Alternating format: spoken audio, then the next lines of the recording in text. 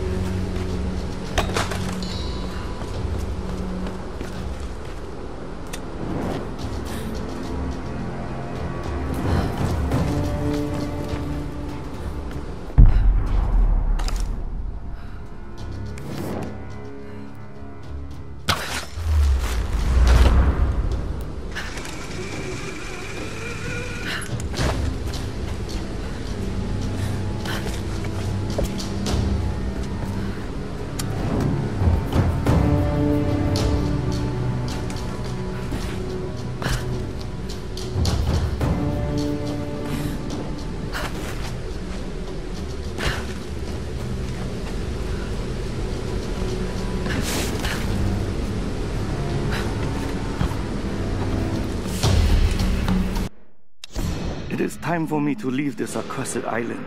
I have seen enough of Yamatai. I cannot explain the power the Sun Queen wields, but it is not of this earthly plane. As I suspected, she knew my intent the moment I set foot on this island. She has manipulated me, toyed with me to see what information I would seek. But she always knew. If I am allowed to leave this place alive, I must warn my lord, warn him that we should avoid Yamatai at all costs. If we wish access to her seas, we should pay any tribute she requires, but we should never cross the Sun Queen. To do so would lead to our ruin. Of the other things I have seen, those dark horrors, I can never speak of again.